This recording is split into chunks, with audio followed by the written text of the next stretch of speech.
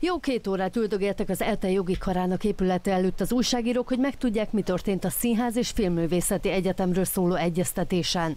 A Magyar Rektori Konferenciától híradónknak délelőtt azt írták, hogy az egyeztetés követően tájékoztatják a sajtó munkatársait itt az épületen kívül. Végül csak az egyik szervező, a Hallgatói Önkormányzatok Országos Konferenciájának elnöke jött ki, hogy elmondja, sem a színművészeti szenátusa, sem a nemrég lemondott rektor helyettes, sem a diákok nem jöttek el az egyeztetésre.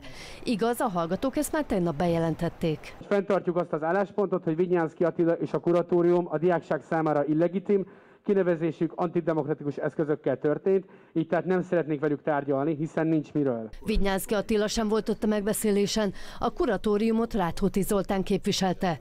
A hőok elnöke szerint a tárgyalás mégis eredményes volt. Ez a megbeszélés jól bizonyította, hogy az SZFE ügy megnyugtató rendezéséhez további megbeszélésekre van szükség, ahol a mindkét oldalnak az álláspontját mind az MRK, mind a hőok mélységében meg, tud, meg tudja ismerni. Hogy mire jó a hőok, azon belül az ELTE hallgatói önkormányzatának közvetítése, azt épp az ELTE hallgatói kérdőjelezték meg.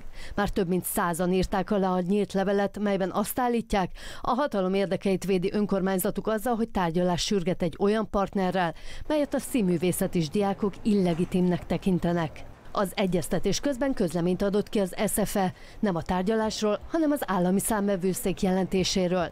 Az ÁSZ szerint ugyanis az egyetem gazdálkodását mintegy tíz éves sorozatos és visszatérő szabálytalanságok jellemzik.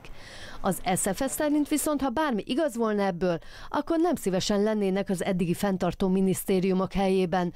Ők felelnek ugyanis a törvényes működésért. Az egyetem szerint a csúsztatások mögött nincs más, mint egy ellenük folyó kampány, amiért nem akarják elfogadni a kinevezett kuratóriumot, és harcolnak a függetlenségükért.